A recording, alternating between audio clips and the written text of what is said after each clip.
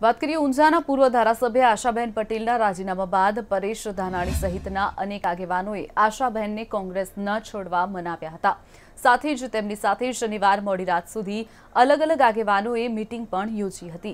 ત્યારબાદમાં જ્યારે આ મામલે પ્રદેશ પ્રમુખને પૂછવામાં આવ્યું, ત્યારે તેમણે જણાવ્યું હતું કે હાઈકમાન્ડથી તેમને કોઈ સૂચના મળી નથી. તેમજ તેમના રાજીનામાથી સ્થાનિક કાર્યકરોમાં રોષ જોવા મળી રહ્યો છે, જેથી તેમને વિચારવા અંગે સલાહ આપી હતી.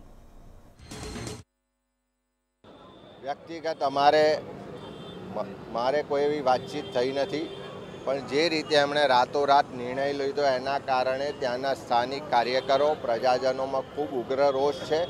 અને એમણે પણ જણાવ્યું છે કે આવનારા સમયમાં કાર્યકરો સાથે બેસીને નિર્ણય કરશે. પણ જે પણ કાર્યકરો કે પ્રજાને વિશ્વાસ લીધા સિવાય નિર્ણય થયો છે એમાંથી લોકોમાં ખૂબ આક્રોશ છે. મેં કીધું મારી સાથે કોઈ વાતચીત થઈ નથી એટલે એનો અહીંયા વાત કરવાનો પ્રશ્ન નથી.